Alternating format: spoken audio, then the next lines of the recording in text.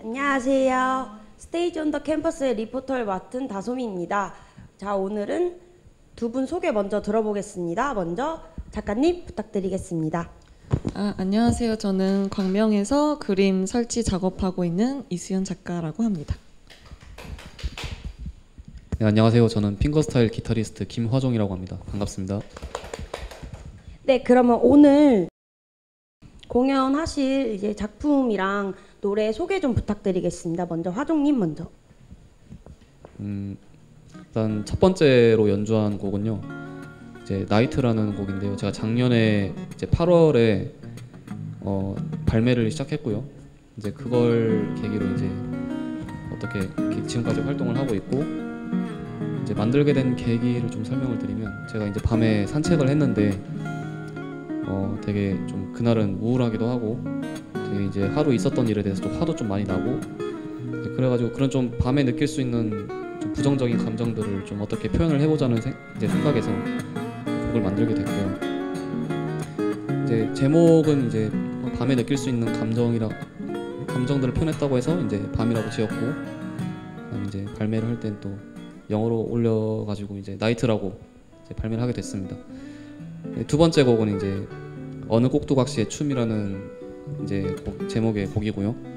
이제 제가 이제 한 번은 이제 그것도 밤에 만들었는데 이제 좀 이상한 걸 써보자는 취지에서 유튜브를 검색을 하다가 음, 되게 사람이 이제 손발에 실이 묶인 채로 이제 음악에 맞춰서 춤을 추고 있었는데 그 모습이 되게 인상적이어서 이제 나름, 나름의 이제 이야기를 한번 만들어봤어요. 이제 인형이 이제 그 사람처럼 이렇게 실에 묶인 채로 춤을 추고 있다가 이제 사실은 그 인형은 뭔가 그 실을 이제 속박하는 뭔가를 다 끊어내고 이제 탈출을 하고 싶어 하지만은 이제 결국에는 실패를 하게 되는 좀 안타까운 마음을 좀 그린 곡입니다. 네, 그럼 수연님 작품 소개 먼저 부탁드리겠습니다.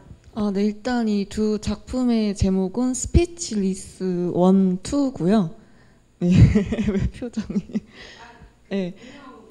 아, 네, 맞아요. 알라딘에 나오는 네, 그 네, 네, 비슷한 이제 어떤 감성을 느끼고 작업을 한 건데 이제 이게 본래 뜻은 어떤 말문이 막히다라는 그런 의미인데 완전히 그런 의미는 아니고 어, 제가 이 작업을 할 때 어떤 강렬했던 이때 기억이 있는데 실제로 제가 불구가 된 건 아니지만 마치 불구가 된 것처럼 되게 몸이 안 좋았던 이제 시절에 그렸던 작업이에요.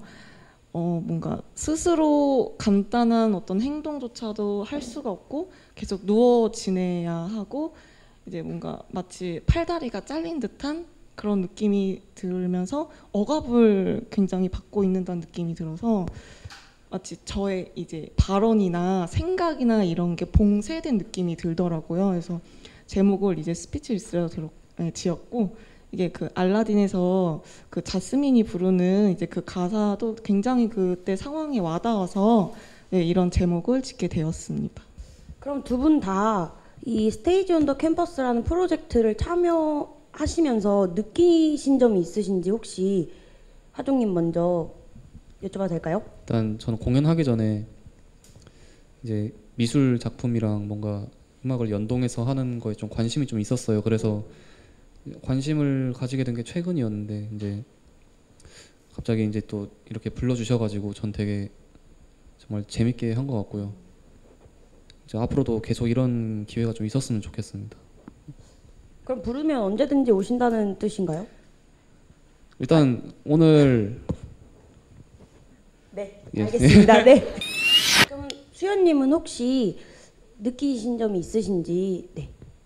어, 지금까지 이제 항상 전시의 형태가 이렇게 벽에 걸려서 이제 이제 조명이 집중이 되고 그런 식으로만 전시를 하다가 이렇게 이제 음악 하시는 분과 콜라보를 해서 어, 상황을 이제 보니까 그림이 좀 색다르게 보이더라고요. 뭔가 좀 더 역동감이 느껴졌다고 해야 되나? 좀 제 그림이 달라 보이기도 하고 이제 작업이랑 이제 귀랑 이제 음악이랑 어울려서 이제 시각적인 부분도 보다 보니 좀 더 풍부하게 느껴지는 경험이었던 것 같아요.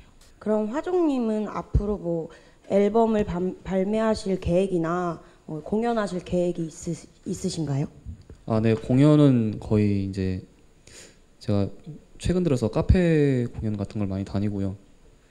거의 이번 달은 좀 매주 하나 한 번씩 했었던 것 같아요. 다음 달부터는 어떻게 될지는 모르겠는데 아마 다음 달부터도 그냥 늘 하던 대로 카페 공연을 주마다 한 번씩 할 것 같고요.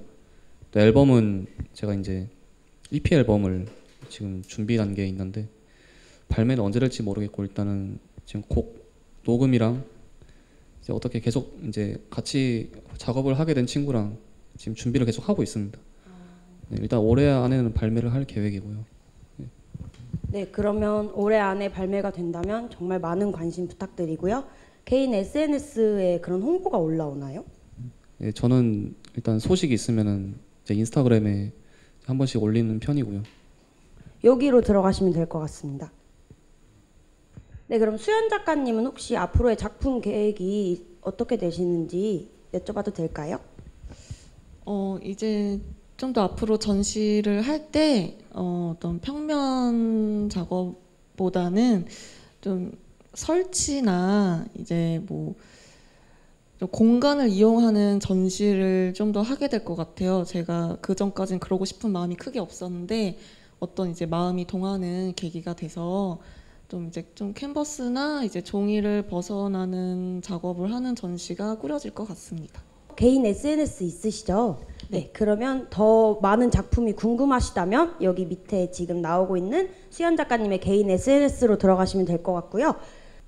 공연을 보실 때 이제 화종님이 연주를 하실 땐 굉장히 무표정인데 끝나자마자 살인 미소가 여기 이렇게 올라가요. 그거 꼭 집중해서 보시고요. 자, 그러면 저희가 이제 빨리 공연을 보는 게 좋을 것 같아서 네.